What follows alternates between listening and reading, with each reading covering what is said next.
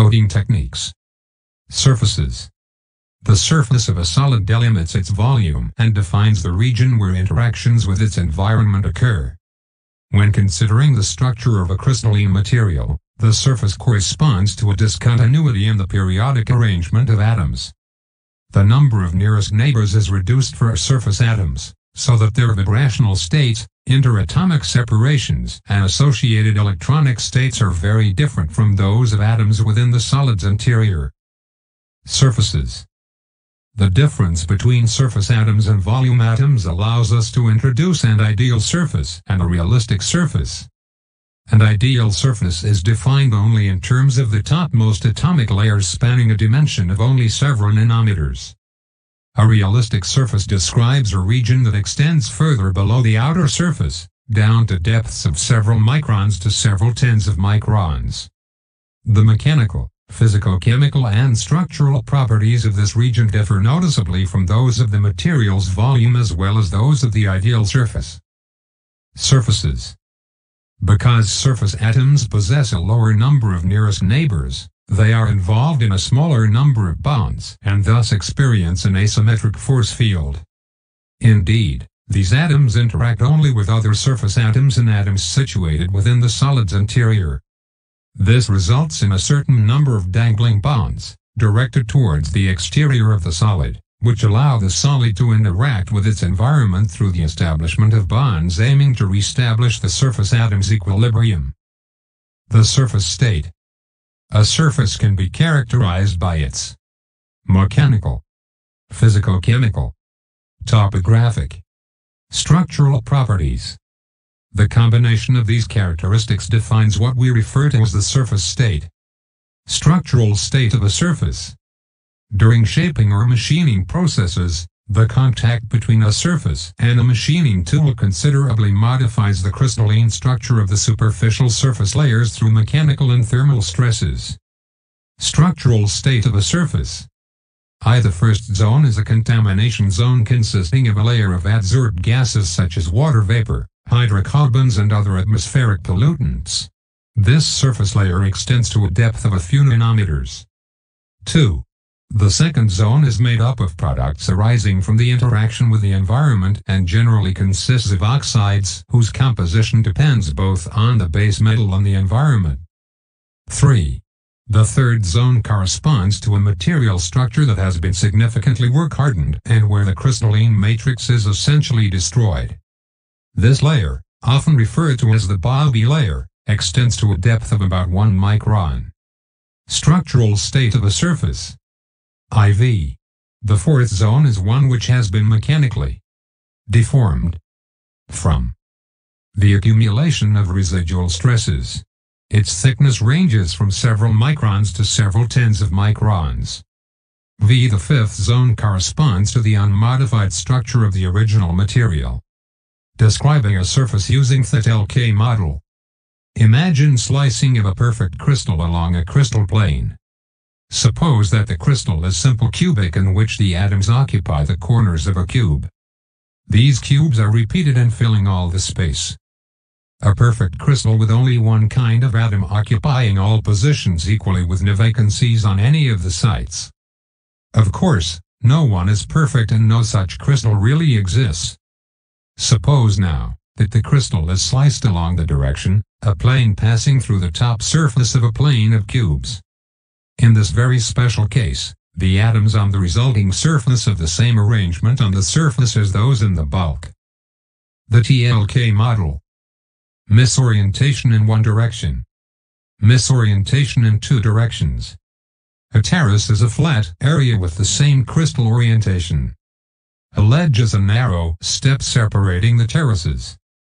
A kink is an irregular twist in the ledge. These surfaces are essentially smooth on an atomic scale.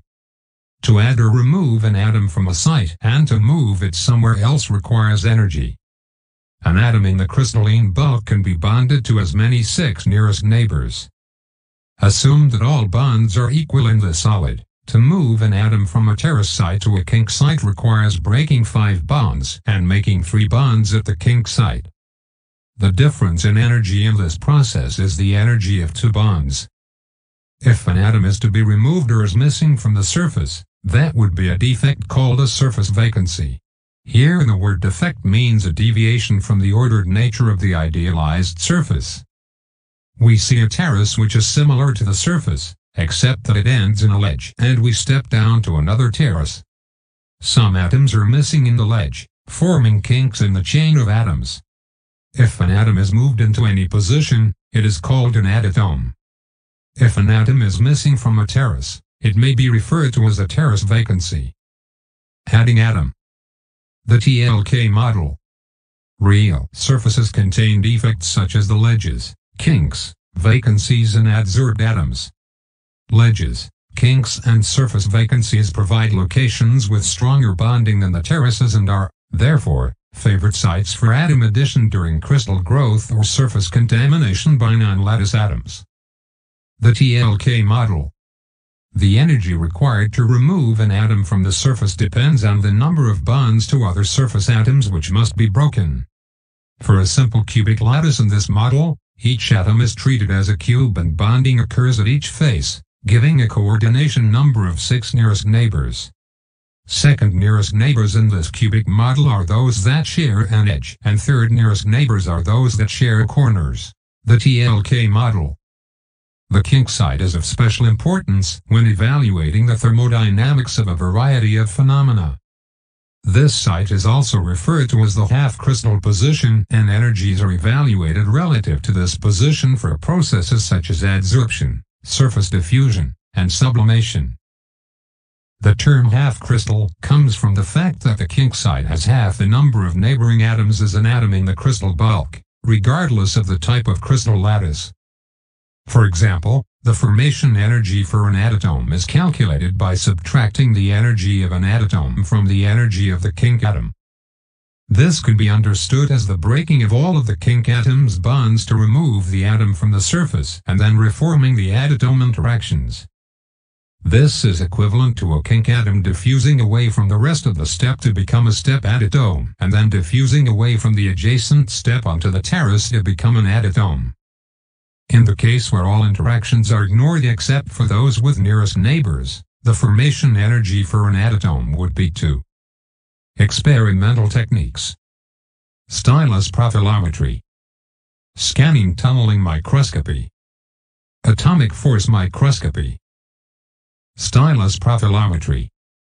Stylus profilometers are devices equipped with a mechanical stylus consisting of a diamond tip whose radius of curvature is generally between 1 and 2 meters.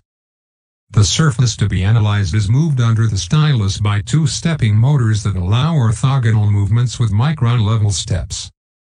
The vertical movements of the stylus follow the topographic defects of the surface and are analyzed using a sensor that generates an electrical signal which is in turn digitized and processed by computer.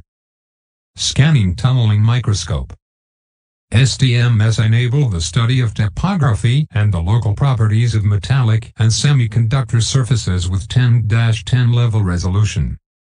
The principle of operation of the STM is based on measuring the electric current that arises due to the tunneling effect between a fine probe and the sample surface when these are separated by a few angstroms and subject to a potential difference of a few tens of millivolts. The probes used are generally made of tungsten or of platinum iridium and have radii of curvature of a few nanometers. Scanning tunneling microscope. As the probe scans the surface, an electronic control system measures the tunneling current and moves the probe tip away from or towards the surface to ensure a constant current intensity. By recording the variations of the distance between the probe and the surface as a function of the coordinates of the scan points, an atomic scale 3D representation of the topographic surface is obtained. Atomic Force Microscope one of the main limitations of the STM is that it cannot be used to analyze non-conducting materials. To overcome this, other techniques such as the atomic force microscope have been developed. The sharp tip is brought into the close proximity of the sample surface by the use of the three-dimensional piezo scanner. Upon reaching the close proximity the sample is scanned horizontally and vertically. Due to the forces between the tip and the surface the cantilever deflects, a beam of laser reflects back to the photodetector as a laser spot. Atomic force microscope. When in contact mode, the tip of the atomic force microscope remains in contact with the surface and scans its topography. The drawback of this method for soft materials, however, is that it can scratch or deform the sample surface. In such cases, we use the AFM in vibration mode where the probe is maintained a few nanometers distance from the sample surface and subject to vibratory movement. Mechanical state of a surface. The mechanical state of a surface can be characterized using four quantities. Hardness describes the resistance of materials to plastic deformation. Young's modulus and the elasticity limit characterizes a material's elastic properties. Toughness accounts for the relative brittleness of a material. Residual stresses play an important part in the resistance of the material to wear and cracking. Chemical composition of a surface. The chemical composition of a surface can be characterized using a number of different analysis techniques with the same underlying principle.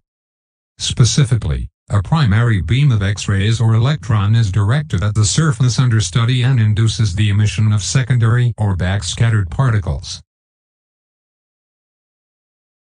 The characterization of these secondary particles allows the identification of the emitting atom and the composition of the surface analyzed. X. Primary particle, electron. Secondary particle, photon. Characteristics of the technique. Elemental analysis of materials to a depth of a few microns. Possibility of generating X-ray images showing the distribution of elements. Possible applications. Analysis of precipitation and segregation in metallurgical materials. Characterization of thick thermal oxide films. Hard anti-wear. Anti-corrosion coatings. XPS.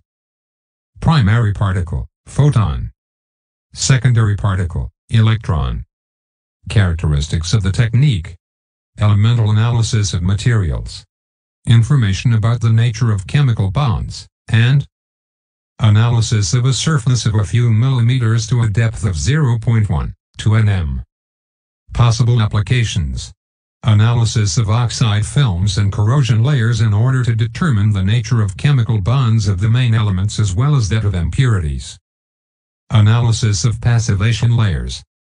Characterization of the state of chemical bonds within polymers and Analysis of the core level and valence band. Auger. Primary particle, electron. Secondary particle, electron. Characteristics of the technique. Elemental analysis of the top few atom layers of solids. The depth of analysis is 2 to 3 monolayers. Possible applications. Analysis of adsorbed layers. Analysis of thermal or anodic oxide films characterization of thin deposits and analysis of segregated layers on surfaces or within grain boundaries. C. Users Umar Desktop A's Animation.ogv. SIMS. Primary particle, ion. Secondary particle, ion. Characteristics of the technique. Elemental and isotopic analysis of all elements in the periodic table, determination of concentration profiles of chemical elements to a depth of several microns using ionic sputtering.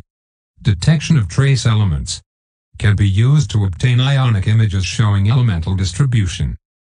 Possible applications Analysis of concentration profiles of bulk materials or thin layers. Also used to analyze metallurgical products heterogeneity.